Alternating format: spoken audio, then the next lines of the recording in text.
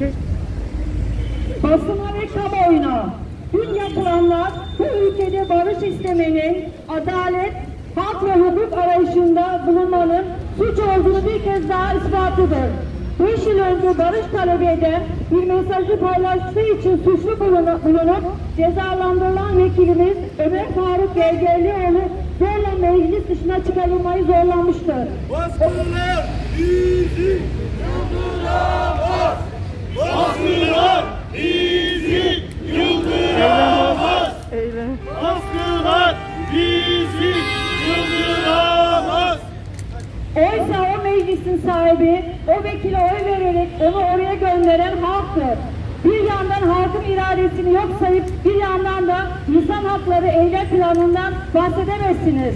Halk ihlaline uğramış bütün herkesin hiçbir ayrım yapmadan yardımına koşmuş, onların sorunlarını, taleplerini dile getirmiş bir vekilden rahatsız olunması bu ülkeyi yöneten, yönetenlerin ne kadar aciz içinde olduklarını ve ne kadar da korktuklarını göstermektedir. Ama ne yaparsanız yapın, doğruyu söyleyenleri, hak arayanları korkutamazsınız. Ömer Faruk Gergerlioğlu, halkın vekili olmaya ve duymak istemediklerinizi dile getirmeye devam edecektir. HDP halktır kapatılamaz. HDP halktır kapatılamaz. HDP halktır kapatılamaz. Faşizme karşı omuz omuza. Faşizme karşı omuz omuza. Faşizme karşı omuz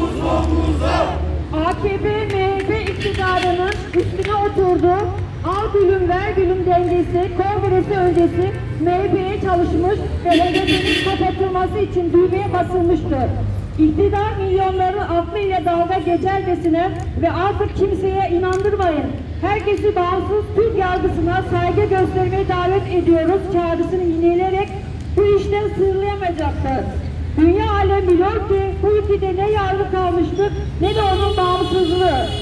Biz yine ve yeniden söyleyelim. HDP halktır ve halk susturulamaz.